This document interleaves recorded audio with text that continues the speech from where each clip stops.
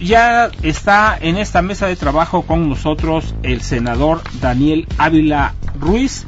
Señor senador, muchísimas gracias por acompañarnos en esta mesa de trabajo.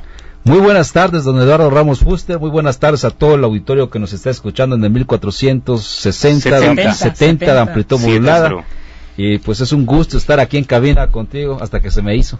Ya, ya tenía tiempo que lo teníamos pactado, nada más que no lo habíamos concretado. Fíjate que hay varios temas con respecto a Yucatán y por eso es que nos acercamos contigo porque tú has estado eh, viendo estos temas. Uno que es el preocupante es el de los elefantes blancos. Se construyeron eh, varios hospitales en Yucatán, pero esos hospitales ni se terminaron, o sea, sí se inauguraron, no se terminaron, no fueron dotados de infraestructura, de equipo, y ahí están. Y ahora se presenta también un problema, eh, al parecer, que se ha ido agravando con el chikungunya, este mosquito que llega, pica y transmite esta enfermedad. Y las dos cosas parece que se juntaron, ¿no? Así es, don Eduardo, pues comentarle a todo el auditorio que efectivamente en la administración eh, de Ivonne Ortega Pacheco, eh, que es eh, exsecretaria eh, nacional del PRI, hoy actual diputada federal plurinominal. Gobernadora de Yucatán. Ex, gobernadora de Yucatán, que fue muy, muy conocida por las primeras piedras que puso, porque nada terminó, solamente ponía las primeras piedras y no terminaba nada. Pues comentarte que efectivamente el hospital de Tecash le dejan el recurso de la administración anterior de Patricio Patrón Laviada, le dejan 112 millones de pesos, pero adicionalmente el gobierno federal le entrega más recursos para concluir ese hospital, que prácticamente toda la obra negra ya estaba lista, inclusive gran parte de los equipos de aires acondicionados y otros otros equipos ya están allá desde hace ya más de seis años abandonados. Yo tuve la oportunidad de estar allá en Yucatán y vi los equipos de aire acondicionado precisamente echados a perder. Así es. Ahí dentro del hospital y que el hospital realmente es un galerón eh, donde está la construcción y ni siquiera tiene repelladas las paredes ni acabados. No me explico cómo es que inauguraron un hospital que ni tiene equipo ni fue terminado. Así es, Eduardo, por eso en su momento, eh, desde hace ya varios, varios años, presentamos una denuncia ante la Auditoría Superior de la Federación y ante la Secretaría de la Función Pública por tratarse de recurso público federal para que auditen, investiguen qué es lo que pasó, por qué no se concluyeron este hospital de Tecash. Pero además te comento, a escasos 39 kilómetros de Tecash está también en el sur del estado otra ciudad, la Perla del Sur, Ticul y en Ticul, eh, también por medio de los proyectos de prestación de servicios, que es eh, eh, recurso público con recurso privado, Ivonne Ortega le da a la empresa Marnos la construcción de un hospital también a 39 kilómetros de Tecash. nada más que ese hospital nos va a costar a los yucatecos 5.500 millones de pesos para pagar en 25 años. Nada más que ese hospital tampoco se ha acabado. Dijo que se iba a acabar antes de que concluya su administración. Ya llevamos tres años de, con el nuevo gobernador Rolando Zapata Bello y ese hospital no se concluye. Entonces no se ha concluido ni el hospital de Tecash ni el hospital de Ticul. Y comentarte también, en el interior del estado hay un municipio que se llama Yashkabá, donde también empezó a construir el famoso museo, el Palacio Maya de Yaxcabá, una construcción que ya invirtió en su administración Ivonne Ortega Pacheco más de 300 millones de pesos. Y me gustaría eh, que nos visitaras ahí en Yaxcabá para que conocieras de primera vista ese edificio es un elefante blanco abandonado totalmente. Ese sí te puedo decir que está total en la selva. El dinero, en la ¿Se selva. Nunca se concluyó, nunca se inauguró, nunca se terminó y son 300 millones de pesos.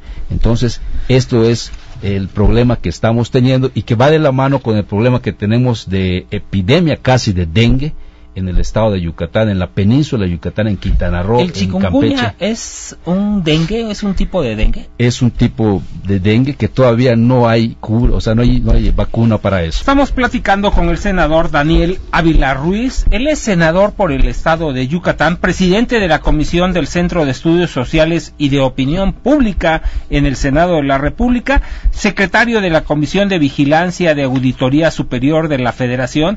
Bueno, ahí tenemos bastante que preguntarte, senador. Pero regresando al tema de Yucatán, de cómo se encuentra Yucatán. Ya platicamos con el director general de epidemiología, el doctor Huitlahua Ruiz Mateos, que nos dio un panorama de lo que es esta, esta enfermedad que ha estado pegando durísimo allá en Yucatán. Nos comentabas que se había hecho inversión en infraestructura, pero que realmente eso se fue a la basura porque nunca echaron a andar los hospitales. Y cada año hay piquetes de mosco y con estos piquetes de mosco eh, la población seriamente afectada y que no cuentan con toda la red. ¿Qué es lo que habría que hacer? ¿Qué es lo que tú propones que se haga desde el Senado de la República para dotar de recursos a tu Estado? Eduardo, el pasado 8 de septiembre presentamos varios senadores del sureste de, México un punto de acuerdo exhortando a la Cámara de Diputados, específicamente a la Comisión de Presupuesto y Crédito Público, para que en el presupuesto de egresos de la Federación del próximo año 2016, pues, de anticipado, se estén etiquetando recursos públicos federales para combatir el dengue y para combatir esta nueva enfermedad del chikungunya. Eh, esta, este punto de acuerdo ya fue turnado a la Cámara de Diputados.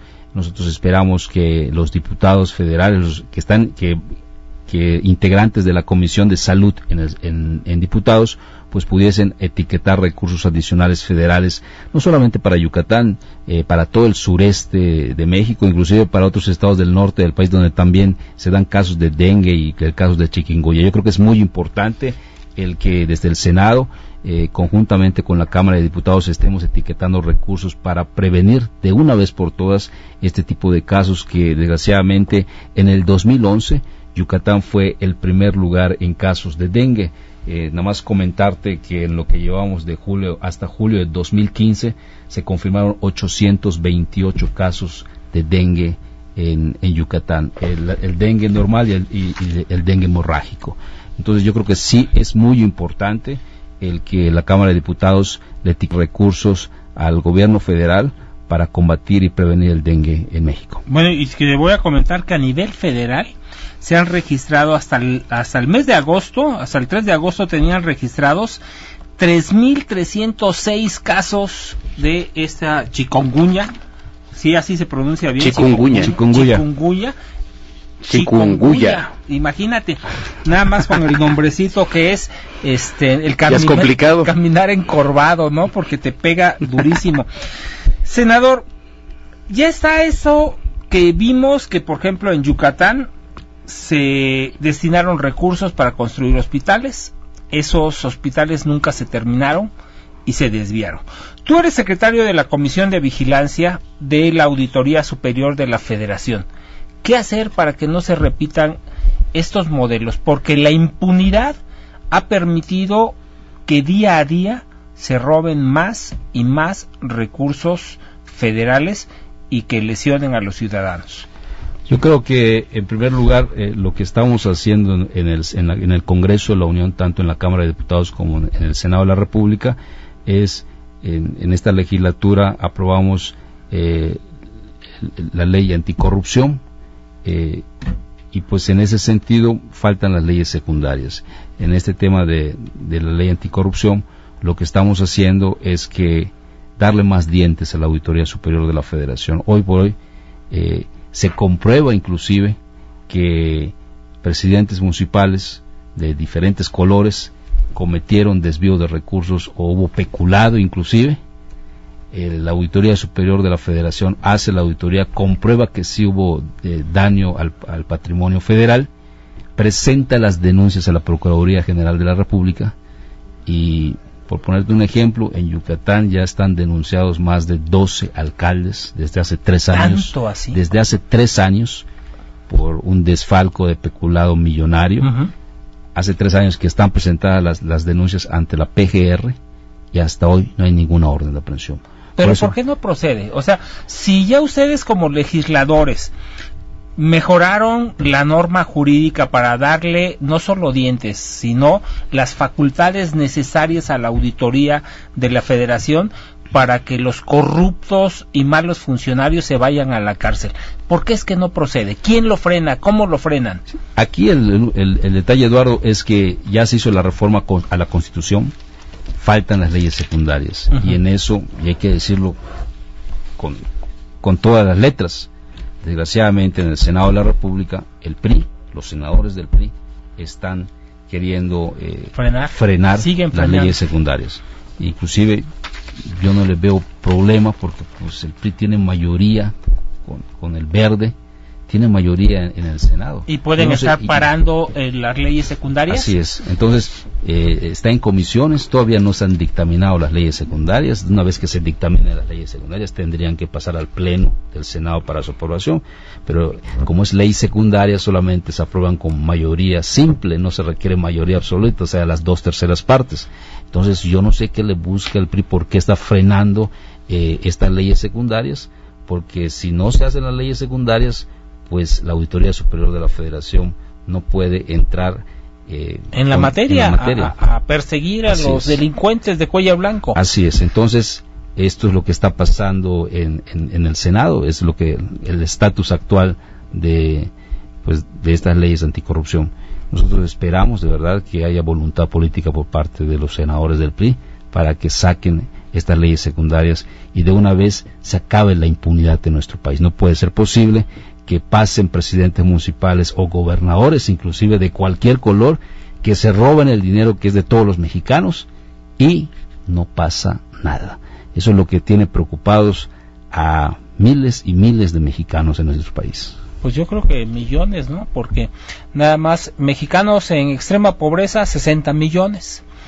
Y vemos a un 2% de mexicanos que ostentan la riqueza, ya que se compran su casa en Cantalagua o se compran su casa en Malinalco o compran casas en las lomas de Chapultepec y vemos una pegadita a la otra, ¿no? Por ejemplo, la Casa Blanca de Enrique Peña Nieto, bueno, no de Enrique Peña Nieto, de su señora esposa.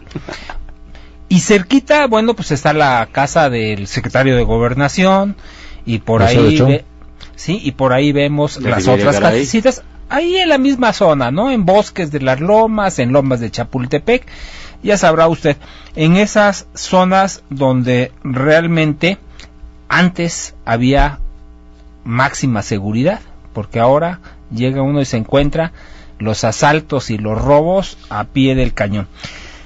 Senador, ya nos platicaste cómo está el problema. Yucatán, Yucatán eh, siempre lo consideramos como un estado único, Yucatán como suena, pero los estados que están alrededor, que también se consideran yucatecos, que son Campeche, Quintana Roo, o que son de la zona maya, Tabasco inclusive, ¿no? Chiapas, donde este tipo de, eh, enfermedad, o no es enfermedad, es eh, la transmisión por medio del mosquito, de, eh, del dengue. ¿Qué hacer?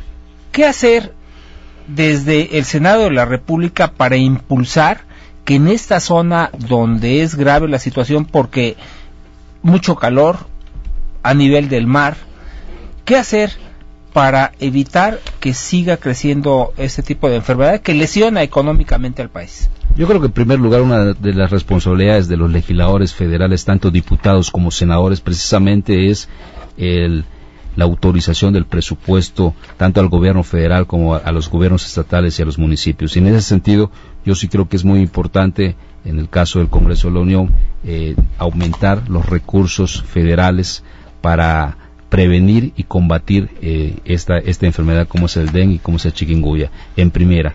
En segunda, desde el Congreso de la Unión, lo que podemos hacer tanto diputados como senadores precisamente también es legislar en tema de salud, el tema específicamente del dengue, conjuntamente con la Secretaría de Salud Federal, para tratar de buscar políticas públicas de prevención y de detección de este tipo de enfermedades. Eh, yo creo que esa es la responsabilidad por parte de los senadores y los diputados federales, la parte de legislación y la parte de los recursos federales que se puedan etiquetar para pues para, para todas las entidades federativas que están teniendo este problema de dengue y de chikungunya. Yo creo que también sería prudente denunciar la mezquindad, ¿no? ¿Quiénes son los mezquinos? ¿Quiénes son los que están incrustados dentro del Senado, de la Cámara de Diputados, que no permiten que avancen este tipo de reformas o de leyes que ya están aprobadas, pero que si no están las reformas a las leyes secundarias, pues simplemente no operan. Eh, habría oportunidad de que eh, tengamos pláticas contigo, que sigas apoyándonos en estos espacios y que nos digas quiénes son los que están frenando este trabajo legislativo. Con mucho gusto, Eduardo, estoy a tus órdenes, por, supuesto. Eh, eh, un servidor, eh, estaré las veces que, que, tú me indiques aquí en, en, cabina, estaremos hablando sobre este y otros temas también, pero sí yo creo que en el caso específico del grupo parlamentario del PRI, en el Senado, yo sí los quiero exhortar de manera muy respetuosa a que haya voluntad política y saquemos estas leyes secundarias en materia de anticorrupción para que la Auditoría Superior de la Federación y la Secretaría de la Función Pública puedan tener eh, las armas o los dientes para evitar, la, corrupción, la corrupción. Pues te agradezco mucho, senador Daniel Ávila Ruiz, el que nos hayas acompañado en este espacio y queda permanentemente abierto.